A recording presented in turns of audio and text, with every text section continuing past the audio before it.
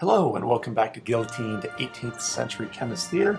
Today what we're going to do is go into a little bit more detail on the difference between mixtures and compounds.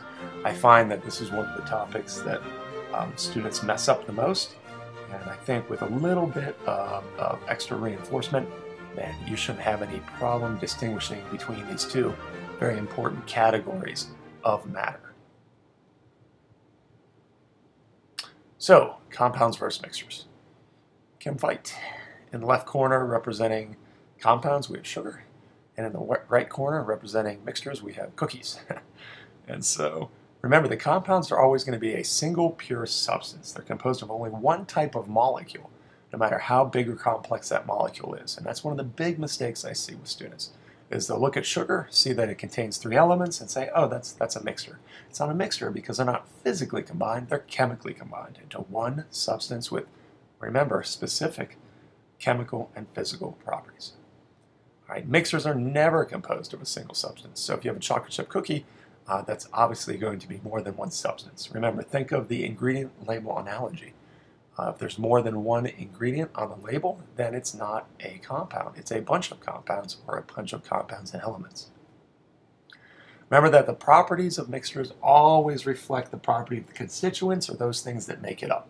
And a great example of this is chocolate milk. Right, you take chocolate, um, it's got the properties of chocolate, texture, taste, color. You mix that with milk, with its properties, and you end up with something that's a blend of the two. Salt water is another great example of this. You have something that's salty, you mix it with something that's wet, and you get something that's salty and wet. Uh, the Reese's Peanut Butter Cup is a classic example of this. Uh, when you take uh, that, that peanut butter and, and, cover it with chocolate, uh, you've got two great tastes that taste great together that reflect the property, properties of the constituents.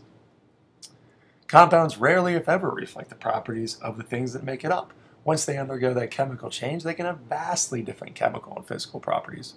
And so uh, salt is another great example of that. Sodium is an explosive soft metal uh, that will uh, react rapidly and vigorously with, with water. And chlorine is a, a poisonous toxic gas uh, that will kill you if you inhale it, used to kill people in World War I. But you combine that together and you get uh, table salt, which you will add liberally to much food. And then finally, compounds do have a definite mass ratio.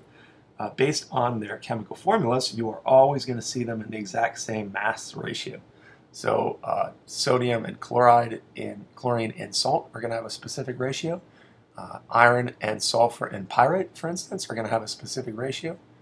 But mixtures, again, due to the fact that it's uh, a mixture of different things and can have different proportions, will have variable mass ratios my chocolate milk is going to certainly have a different ratio of chocolate to milk than yours. And even the chocolate and milk, by the way, are going to be different ratios. Uh, that's why we have different types of milk. And so I hope that helps. Those are three big ideas um, that students mess up a lot with mixtures and compounds. Uh, even on examinations, even all the way to the final, um, students struggle with, with putting that little bit of extra time and common sense into differentiating between mixtures and compounds.